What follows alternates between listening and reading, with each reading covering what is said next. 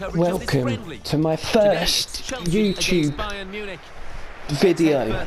I've been watching YouTube for years, but I've never ever made any videos and I've decided after years of watching and years of people entertaining me, I want to give back. I want to entertain people and I want to be a star.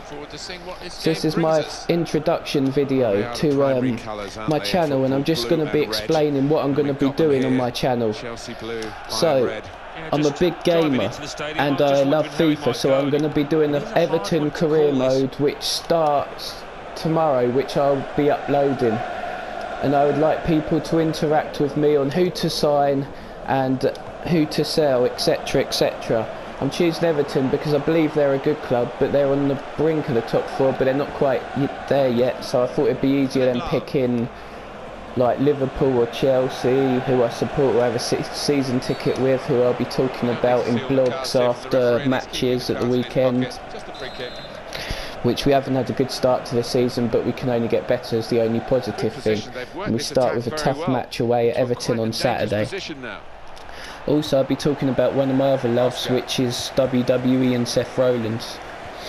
I love WWE, I've been into it for years, and over the last couple of months I really got into it and I got the WWE network and stay up all night to watch events like WrestleMania, SummerSlam, and Night of Champions it's next Sunday and I'm really looking forward to it. And I want to know what you guys think will happen because Seth Rollins is facing an incredible task of defending his two championships. One against John Cena in the United States Championship and one against Sting in the World Heavyweight Championship. I really hope that he doesn't lose both matches because that would be a lot of good work undone, making him look poor losing those two matches. Plus I really want him to keep the World Heavyweight Championship. I'm not too bothered about the US Championship because he doesn't need two belts and I think it's a bit unrealistic and a bit annoying that he's got two belts and I don't know why they gave it to him. So I wouldn't mind him dropping it to Cena but I think people would be pissed if Cena beats Rollins and Sting doesn't because Cena always seems to go over. So I think Cena, but my predictions are Cena will probably clean pin Rollins and I think somehow Rollins will retain his title against Sting, but I think that he will win via interruption from Triple H or a disqualification or something, but I think he'll retain one of the belts. And I hope it's the World Championship, not the US title.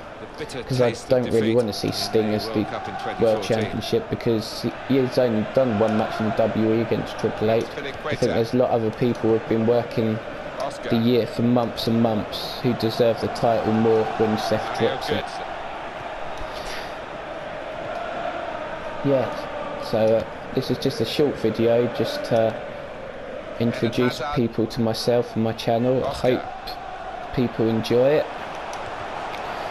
And um, it's the channel is called Ben's Carnage, which will be linked to my Twitter account at Ben4589, which I hope you follow.